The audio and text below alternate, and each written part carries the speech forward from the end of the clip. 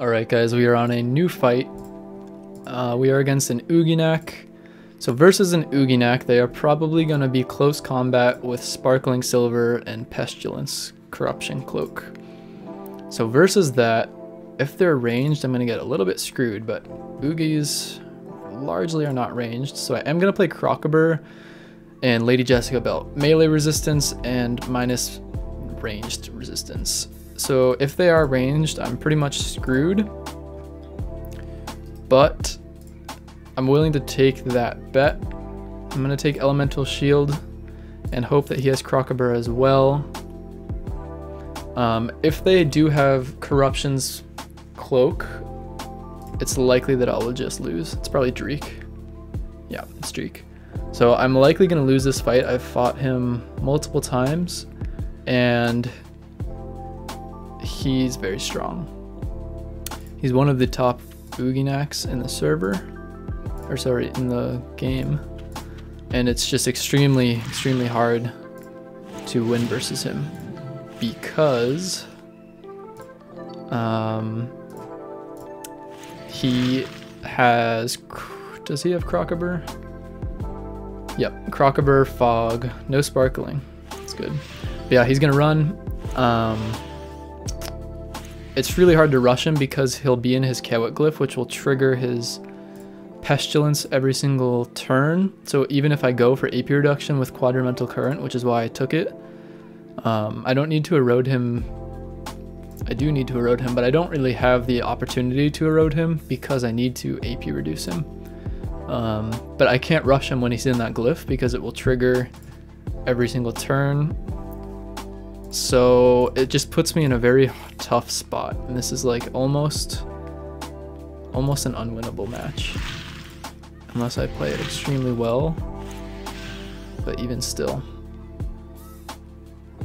So there's not much for me to be doing at this time.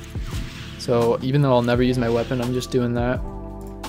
Um, we'll see what he does. So We've got two elemental traps which will unbewitch one turn dur one turn duration because he's in earth state. So he's triggered it himself. Nice, he crit. That's awful. That's probably gonna lock me too, isn't it? Actually, I have quite a bit of agility since I'm in Ilyzaelle set.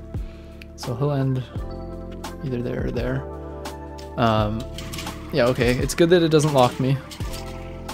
So I'll get plus one AP. So I want to use tribute on this. I'm going to use tribute on this. And I'm going to do this. And now I'm going to put this state on him. We are going to reduce his AP, bring him to us, and steal his chance. I actually do not remember if he has strength or chance.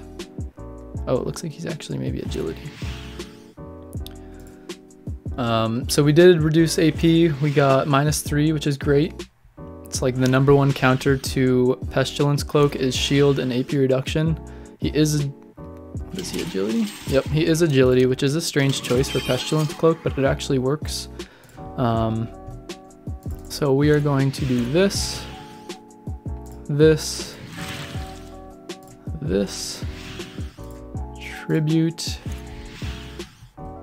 Um, here, cycle, reduce, and hit again. And I can't get any ranged ebony stacks because he locks me. He's got he's agility, so even though I have some agility myself, I can't get the stacks that I want to stack ebonies on him. He does not have sparkling silver, but the poison damage that I'll soon be taking from Pestilence Cloak is very strong combined with Vertebra. Although he can't play Vertebra now that I'm thinking about it, since he's Agility. Agility is not optimal for Pestilence Cloak because it does not give Agility. It still works though, which is strange. Alright, so what ebony am I at? I'm at ebony 5. So I will do that.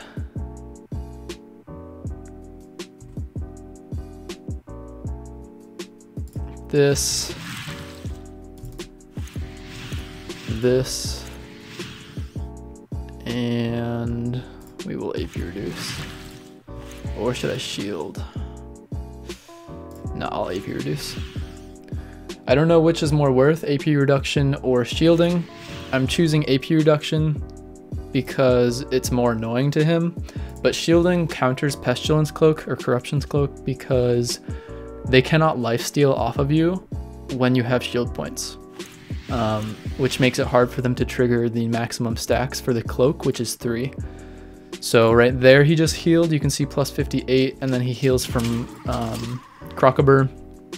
So yeah, there's minus 806, which is quite strong. He's in agility, which is good. So I will tribute off of this.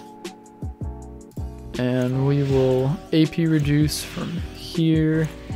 Now I got shield and AP reduce. And... Uh,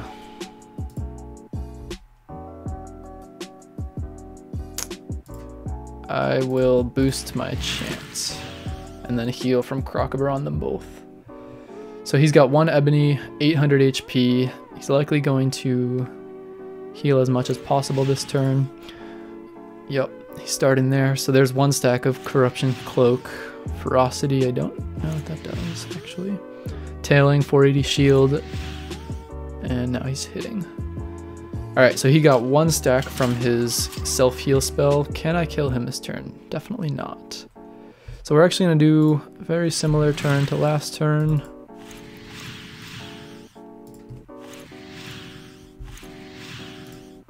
Where we AP reduce him. And now I will boost my chance again. So this is going far better than it has for me in the past. There we go. Ebony killed him. So the reason that that went so much better for me than it has in the past is because he did not wear sparkling silver. He has worn sparkling silver in the past. I'm guessing he did not take it because in his experience versus Hupper, erosion makes it so it's a wasted slot. But what wearing that Dofus does is it prevents me from AP reducing him because I have to erode him in order for him to not get the 20% damage and 40% heal. So that was his mistake, but I understand that it is likely something that is a lose-lose for him either way he goes, which is part of the reason that Hupper is so overpowered right now. Is because you you're forced to make decisions based on things that they may or may not be doing to you, like eroding or AP reducing. So just the amount of choices that Hupper has makes it difficult to play against, which is why the nerfs are coming. So that went well, let's go on to the next fight. Alright guys, I am back. We are against a Sacrier this fight. Sacrier is quite hard to beat because of the amount of sustainability that they have, combined with the fact that they can be ranged as well as close combat. So versus this Sacrier, I'm going to hope that they are not intelligence. If they're intelligence, I just straight up lose. Um, yeah, there's just no getting around it, unfortunately. I will take Quadrimental Current. I will be playing the same set as last fight with the melee resist as well as Crocobur. If they're ranged, I, I honestly lose before the fight starts, but that's a, a choice that I have to make. If they're intel, sadly, I I have to play Crocobur melee resistance. Oh, they're okay, they're agility. I thought they were intelligence because they have 0% resistance and usually, hey, they're the same rank as me in wings. Usually low resistance in one area means that you are that element. Just by chance, that's how sets work out. Okay, so their agility, it looks like. Um, looks like no fancy dofuses, which is weird. Let's see, what am I gonna do right now?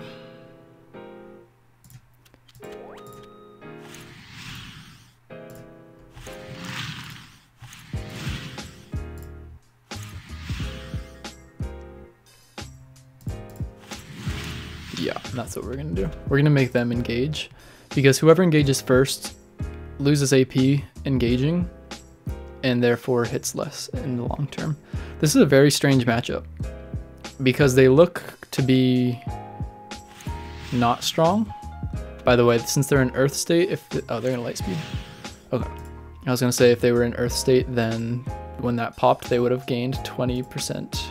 I would have gained 20% more damage on them. Ooh. Very strange build. Boobatron sword. Strong though. Pretty good damage. It's bad positioning on the sword. I get to free tribute now.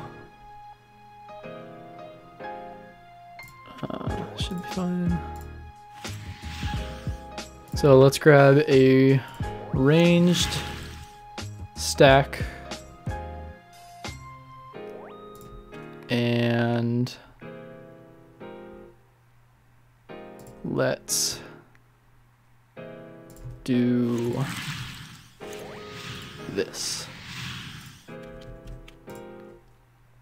Just being annoying to them. Now they've got ebony and I do not have an ebony on me.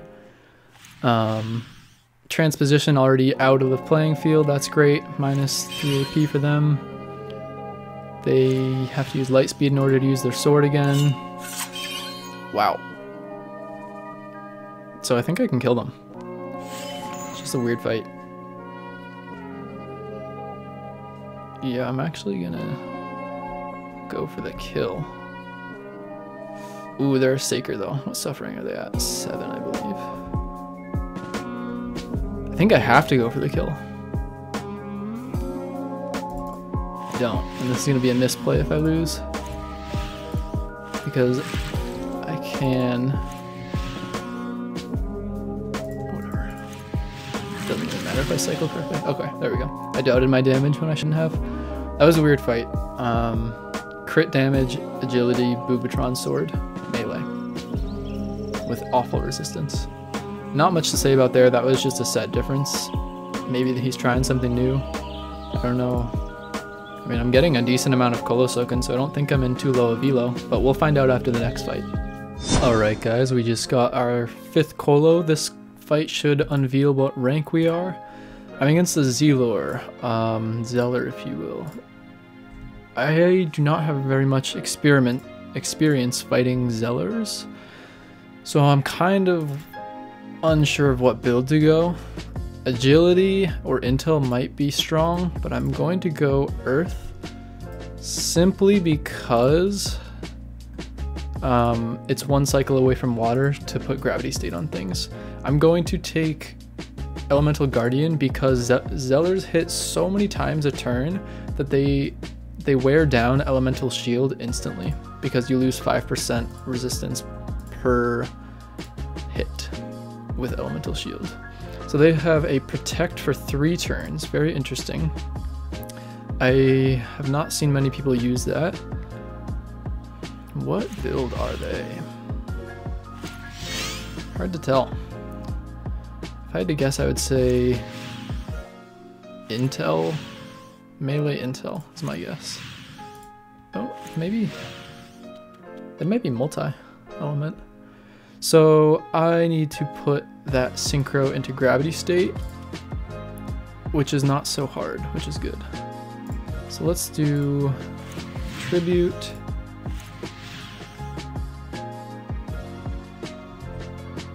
And cycle, trap, Guardian Gravity. So now they cannot switch with it.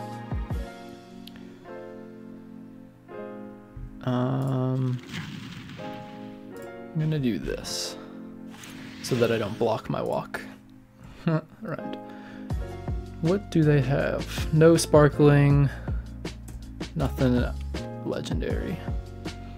So their resistance isn't crazy, which is good. I'm guessing release. Yeah, then they walk and spontaneous return, and then they're going to rewind and end wherever they started. And then they will teleport back here. So the, the key with Zellers is you can't let them have their way. What they want to do is swap sides of the map constantly without you ever even touching them. You can't let them do that, or you'll lose.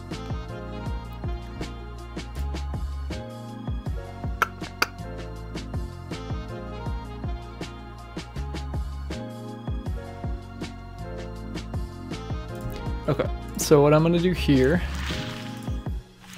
is pull this in, get a melee stack on it, grab it, ebony him and hit him. Yep, that's it. I maybe should have hit the synchro, but it doesn't matter too much. So now I'm actually going to run back here. So he can't swap. So I'm preventing his playstyle, which is very annoying to him.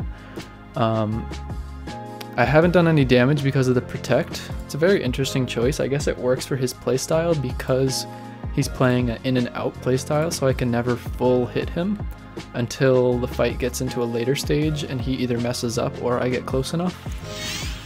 But I'm pretty much just going to keep doing this, to be honest. Oh, okay, so I can't do it now. That was interesting. Oh, well, actually I can. Which you won't like. Don't think I'm going to, though. Hmm, should I? Let's hit first. No, I'm not going to. I'm going to let him come in this turn.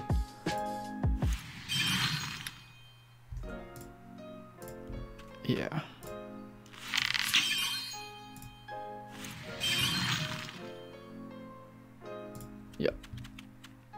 I lock him? Probably not. Definitely not. That would give him a telefrag, which I don't want to do. So would that, actually. I'm going to do this. Not the best, not the worst placement of that. Um, if I went here to try and lock him, he telefrags there, and I don't think I lock him anyways. Maybe I do, since he ran around it. So he is melee. I'm guessing he's intelligence, but maybe multi. And did he just miss? Sorry if my webcam blocks a little bit. I think he honestly missed me. Sharpoon, okay, he is melee intel. I actually dodged that AP, which is quite ridiculous. I, um... Yeah, I don't know. I have 24 res. so... gonna do now is this.